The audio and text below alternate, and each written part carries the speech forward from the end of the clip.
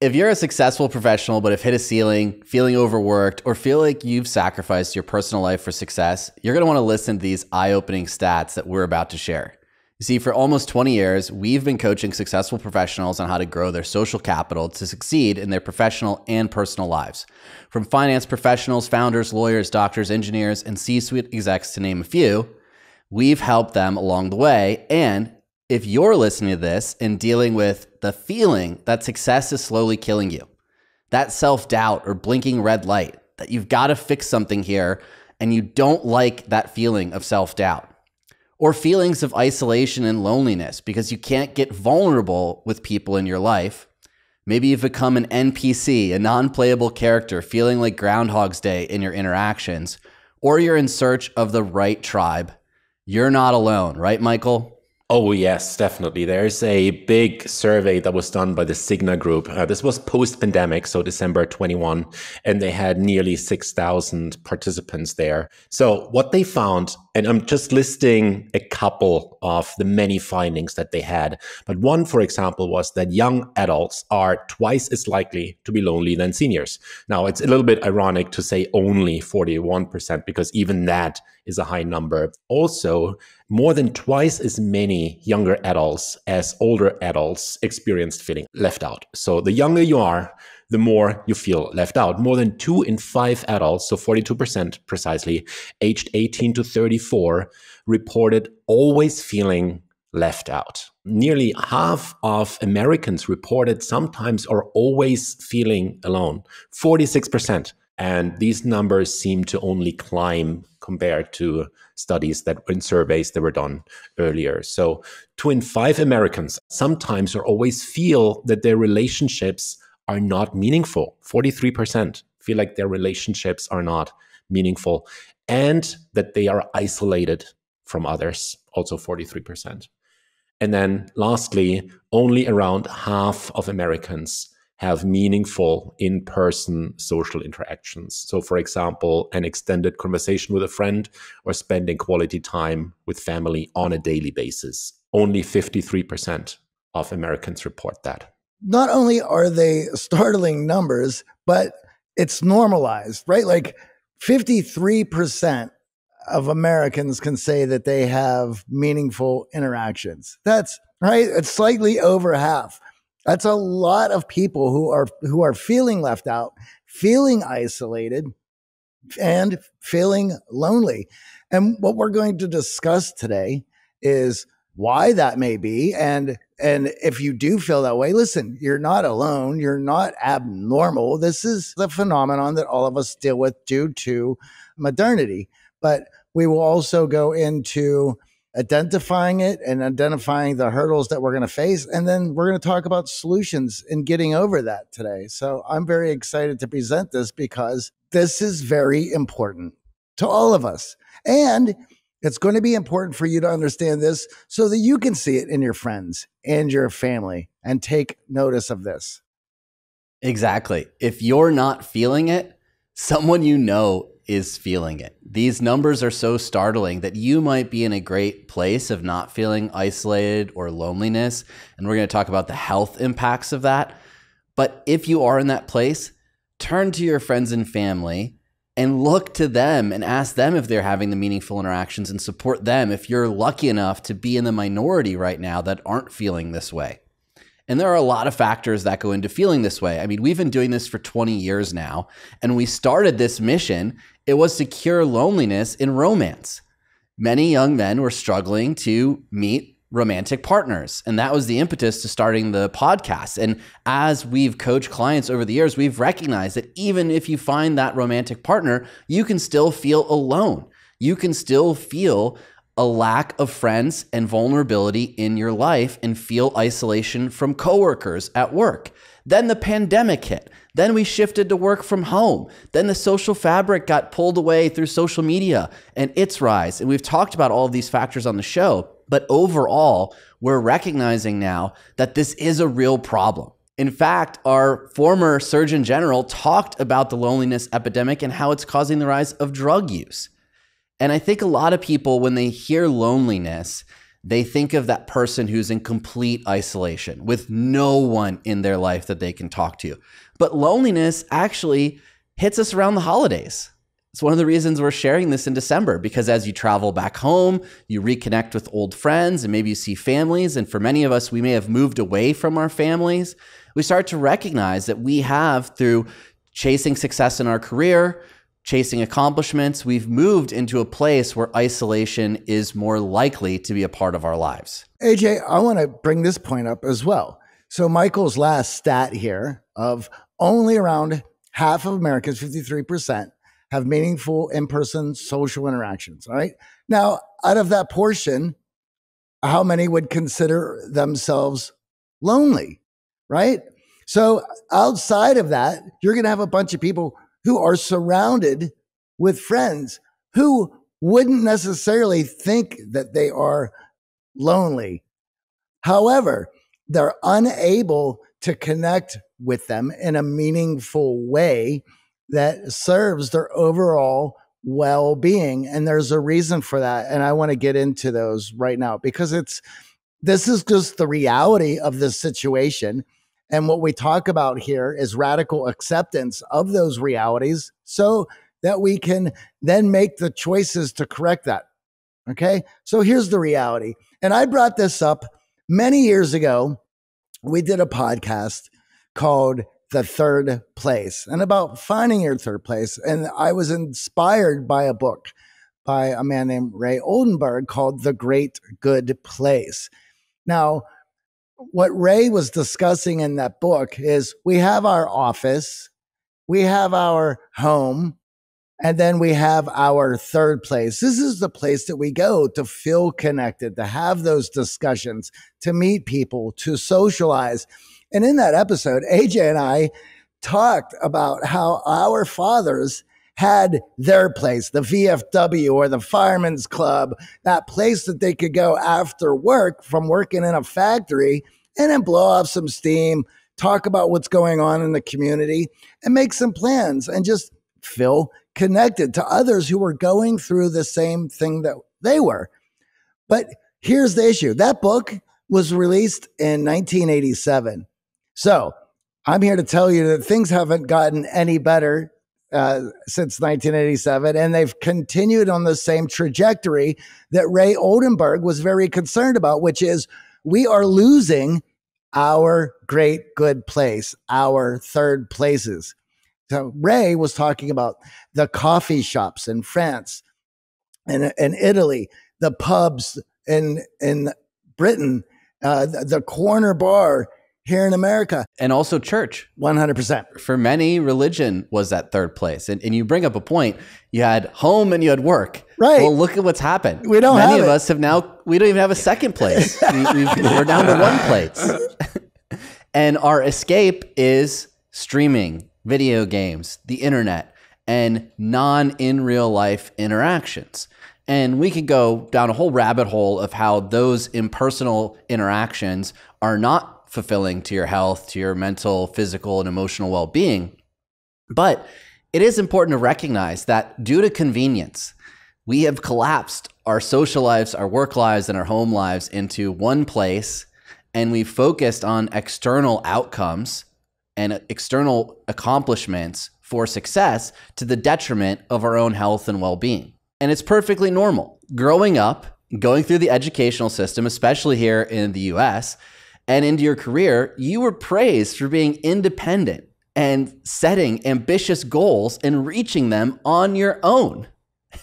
And at one point, you learned that being fiercely independent and with maxed out self sufficiency and self reliance, you were rewarded. Praise from parents and teachers, and then in your career, that led to success. That led to promotion by you working harder than everyone and choosing isolation as a path to external accomplishment. But over time, by making that choice habitual and making that choice of isolation your comfort zone, you've actually set yourself up for poor health outcomes, right, Michael? AJ, you were talking about uh, Vivek Murthy, the former US Surgeon General, uh, just a few minutes ago. And he, in his book Together, he wrote, he says that loneliness has become a silent epidemic And it has become, get this, one of the top reasons for medical appointments as well as emergency room visits. Loneliness is one of the main reasons for this, both in the US and the UK, by the way. Uh, so, approximately, he writes that approximately 20% of emergency room visits are related to, to loneliness. Uh, patients show up with symptoms that include panic attacks, dizziness, severe emotional distress, heightened physical pain, and so on. 20% of emergency room visits. Uh, Nathan Tate and Holt, Lunstad, uh, Baker, Harris, Stevenson, a lot more have coined the term loneliness is the new smoking.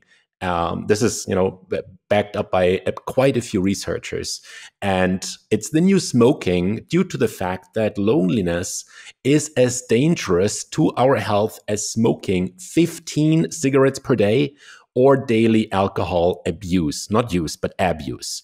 So, of course, not, loneliness is not going to give you lung cancer or it's not going to kill your, your liver, but it can shorten your lifespan uh, just the same way as chronic drinking and smoking does.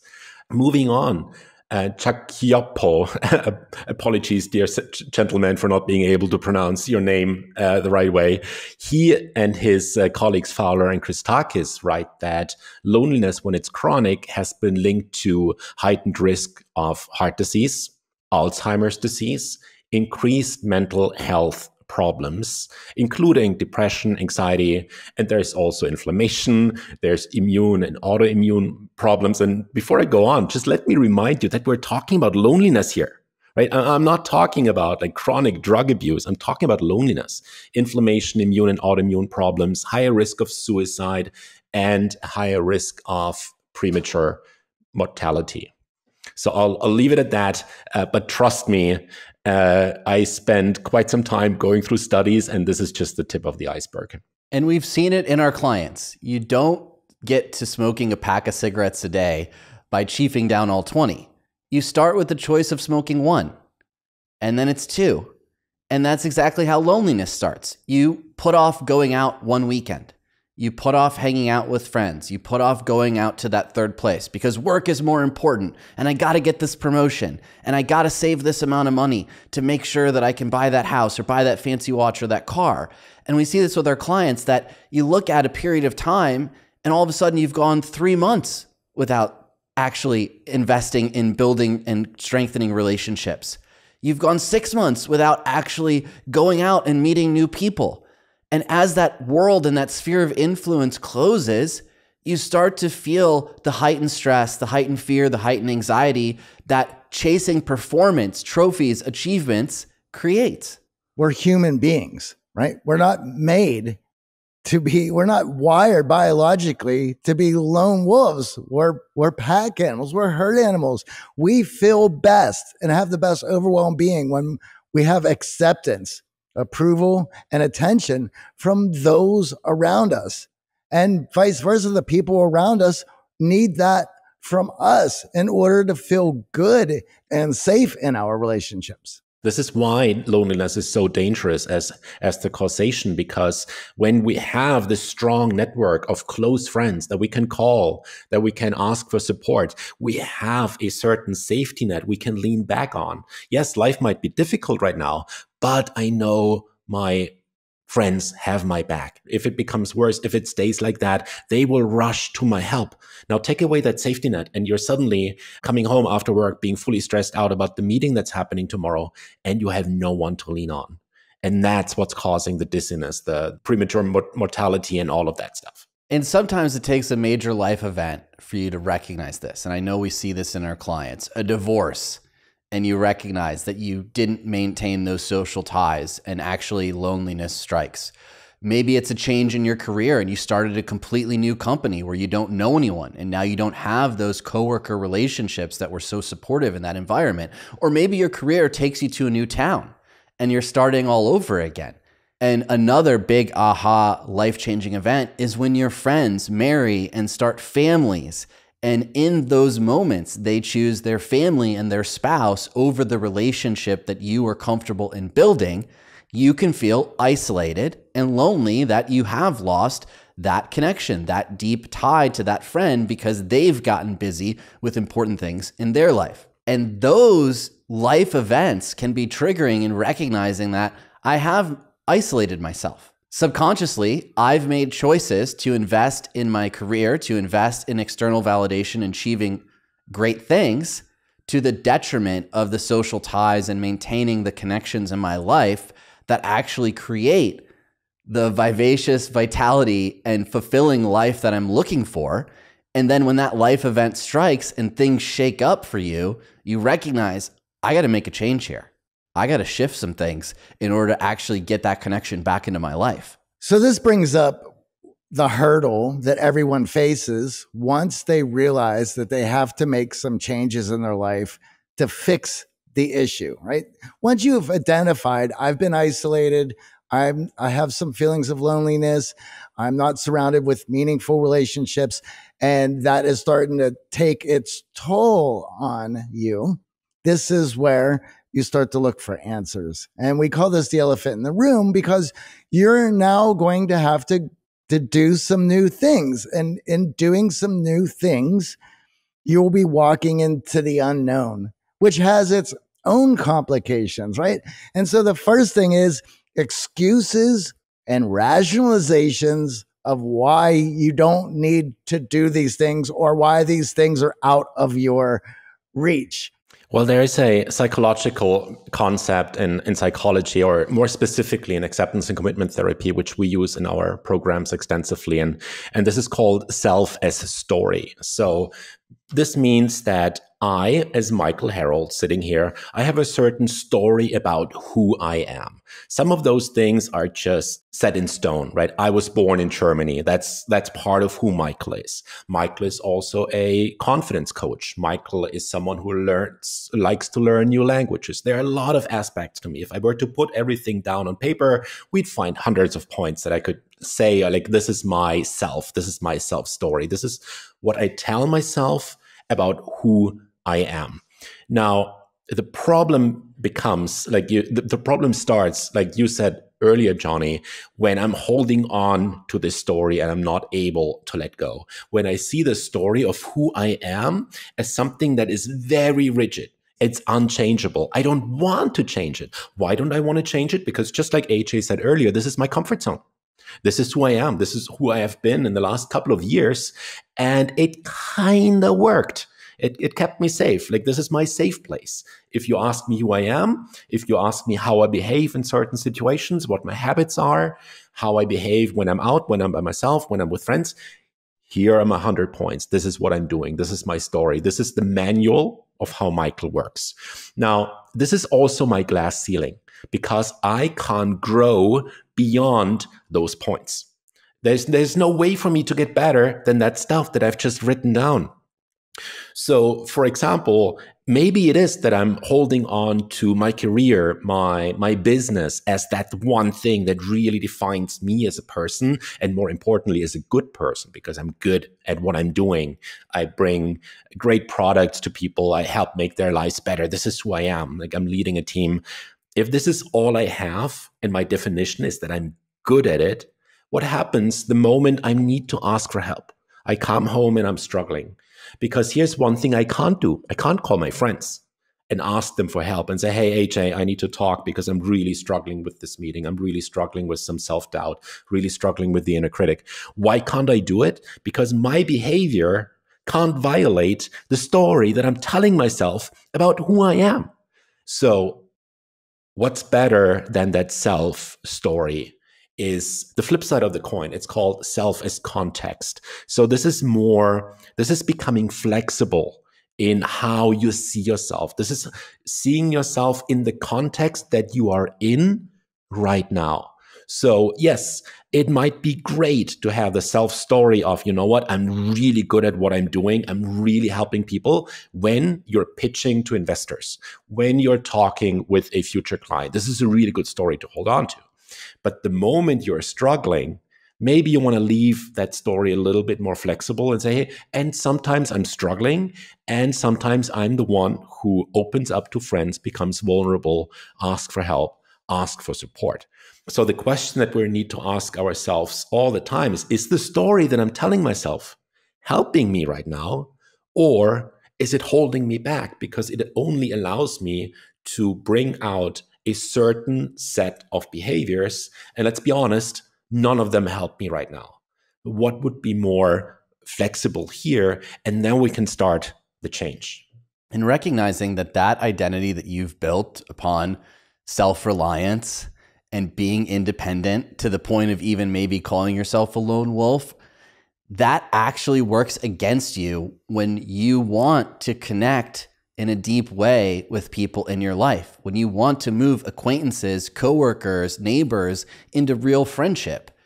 There needs to be vulnerability expressed, but your identity will fight with your ability to be vulnerable in those moments that you accept and share with others that maybe you aren't as self reliant as your identity has projected.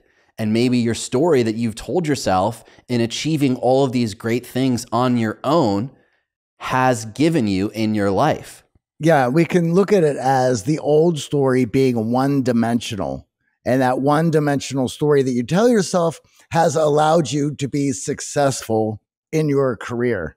But now, as we're looking to change things up, so we can get out there and join a community, build a community, connect with others. That old story doesn't serve us very well. So we want to open up a new dimension. So now it becomes a multiple, a multi-dimensional you, which also serves in making you more charismatic and more interesting to other people and new connections.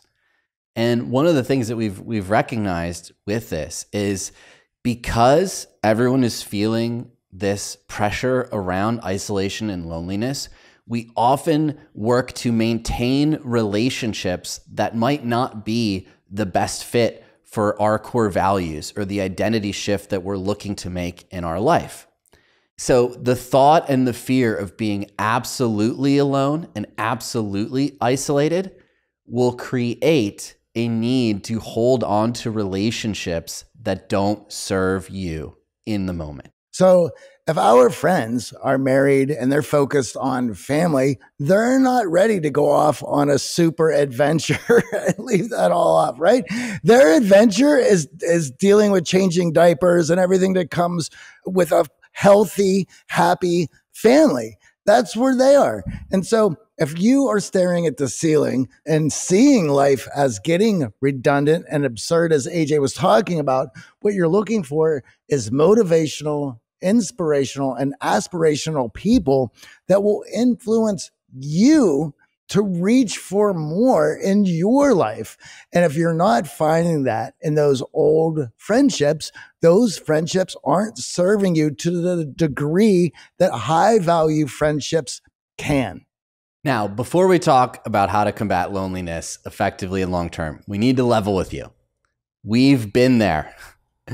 We've moved to new towns. We've left a career path that our family and friends thought was successful. We've shifted our identities, the three of us, multiple times in our life to fit our core values and create a new North Star direction in our life. It's not to say that we cut every single last person out of our life, but we recognize that in order to achieve what we want in life, we need to surround ourselves with people and community that want us to achieve that in our life. First, recognize, as we said earlier, that none of this is your fault. We've been conditioned to seek the external, to seek independence and self reliance, and it's been rewarded through school and work for so much of our life. It's become habitual and unconscious in our behavior patterns. And unfortunately, those behavior patterns have worked to push us away from the connection and the relationships that benefit our physical, emotional, and mental well being so that you can go out and meet new people, have charisma and become memorable in these new interactions, and the skills to deepen those relationships through understanding the power of vulnerability.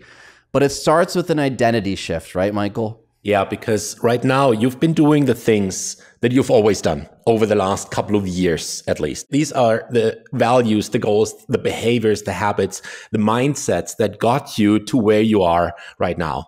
And we need to start getting flexible around them. We need to start replacing them. We need to start becoming honest with ourselves and what do I really want to stand for with all the success and the, the yes, the, the good and the bad that that came with it. How do I actually really authentically want to show up in the world? So we're looking at what are your what's what's your mission? What's your mission in life? Like what what do you want to go out there and do?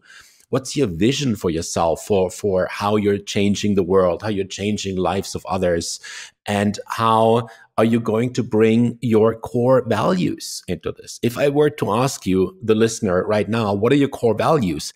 So these need to be completely reinvented, redone. Let's let's look at the entire picture of who you are as a person, who you want to become. So here's why I'm emphasizing values so much because don't get me wrong, like goals are, are really good. That's something uh, that's important to be, have clarity and a plan around as well. The thing is that as we've talked about in, in this episode so far, it's it's kind of your goals that got you into trouble in the first place, right? Because again, goals are great. Please have goals. But you have a couple of problems that come with goals as well. And we go into those problems in, in our training. And one of the problems with goals is that, A, once you achieve them, you're not necessarily happy. You celebrate for a day. And then what you do, you get your journal out and you set the next goal. And 10 years later, you realize you've been spending your life in a hamster wheel, chasing goals and celebrating, you know, an afternoon every once in a while when you've checked one off. The other, th- the other problem with goals is that very often they're given to you subconsciously by other people.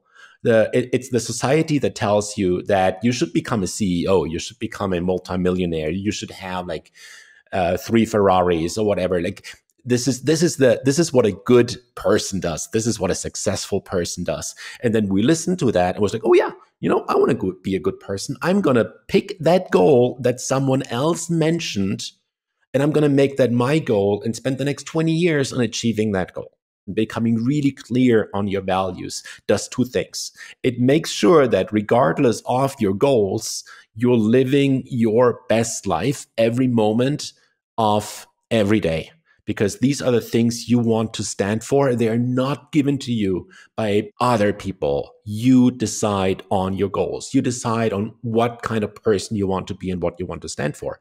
And then your behaviors become in line with those new values that you decided to pick for yourself. So we're breaking apart that self story that I talked about earlier of this is who I am and this is what I've always done. No, let's look at this behavior now through the lens of your new values. What would that actually look like? And if you're watching this or listening to this, you've probably set very audacious goals for yourself. And some of those goals you've reached and celebrated, and some of those goals have just been outside of what you're capable of. And then you've beaten on yourself. Self doubt has crept in, and you've judged yourself harshly for not reaching those goals. Core values create the opportunity to show up and win each and every single day in the behaviors and actions you take in your life and the alignment. They create a North Star, a compass on this map.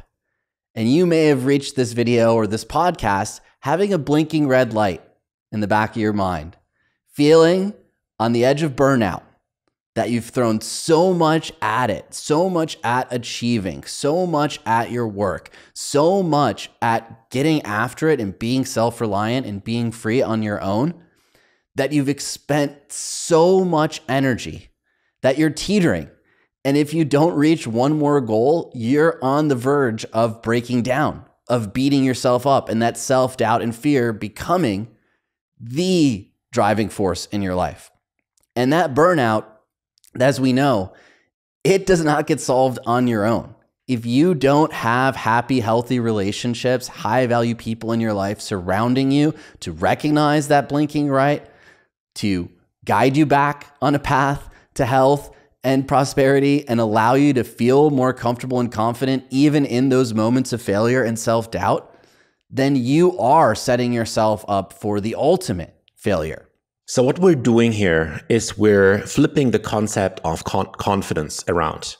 We're taking confidence away from those around you that give you your confidence, your feeling of self esteem, your feeling of worth, because you have achieved certain things that make you look good in their eyes and we turn that confidence around and we make it come from the inside. You are confident not because of all the achievements that other people told you you should have, but you are confident because you know who you are, what you want to do in your life, what you want to stand for. And then comes the comfort zone piece because you need to leave your comfort zone in order to achieve those things. Great life isn't achieved by sitting on your couch and eating ice cream, unless that's your idea of a great life. But I doubt that you probably don't listen to this podcast if that is the case. So you need to leave your comfort zone, which is a little bit scary. And that's where the confidence comes in.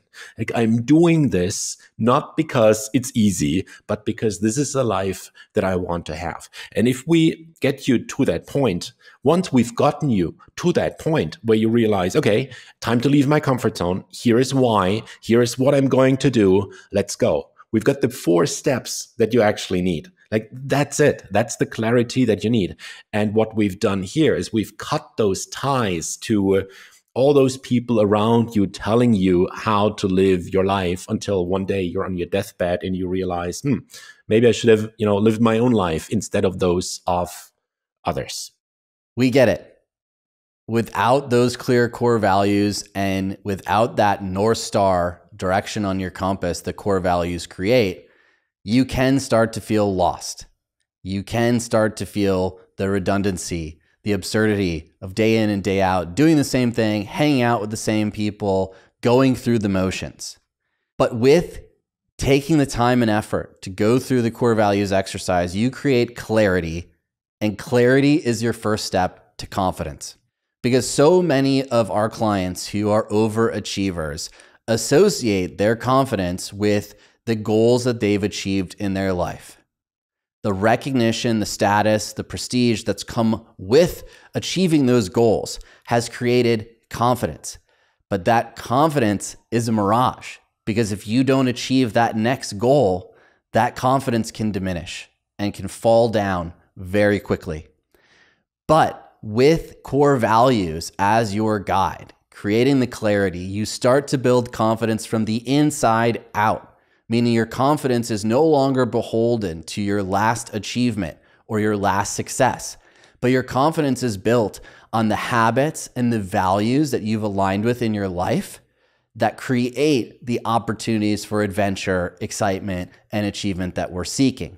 Once we've created this new inside out confidence, we can step into the unknown. We can step into the discomfort. We can step outside of our peer group and start to create new community, start to seek new relationships, start to get vulnerable with people that matter in our life.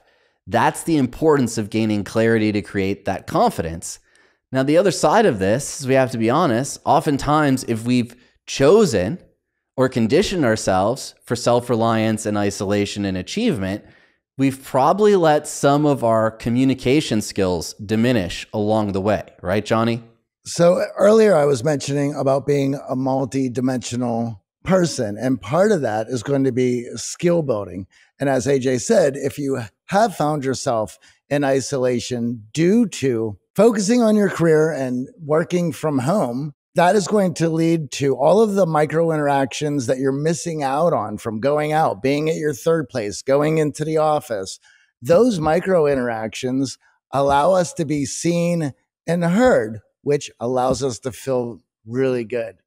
So, getting back out there, some of those old communication skills that perhaps you excelled in to get that job in the first place had atrophied because you haven't been using them.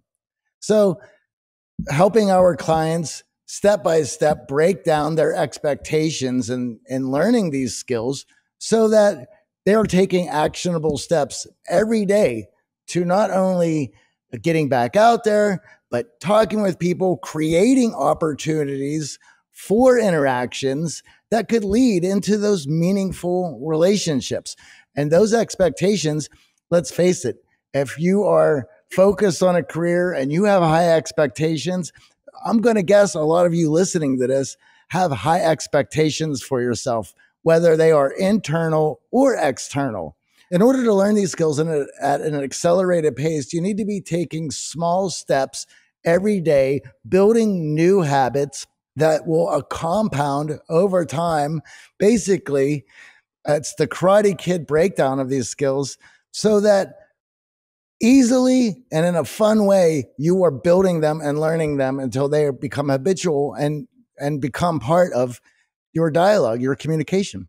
And these skills include creating magnetic first impressions in any environment, crafting small talk that actually engages with anyone, whether it's the CEO entering the elevator, or it's the peer sitting next to you at dinner, or it's going out and choosing new groups to engage with to understand the secrets behind small talk, rapid rapport building, and recognizing emotional bids, it creates the space for you to get comfortable, to be vulnerable, to foster those deeper, real high value connections in your life and unlock social capital. Now, one thing is clear from going into the science, the stats, the data, and the negative impacts on everyone's life that the loneliness epidemic is causing is with this feeling of isolation, the easiest thing we can do is check in on the people that matter in our life. A year has gone by, it's the holidays, everyone is open to reconnecting. Check in on that friend, that relative, that high school sweetheart, that person that you may have fallen out with in your life and reaching out to see how they're doing, having a great phone conversation, or even better, meeting in person back in your hometown as you visit your family for the holidays is how we can do our part to fight the loneliness epidemic. And if you're lucky enough to not be in that high percentage of people feeling it, then let's spread the holiday cheer and reconnect with the people that we care about.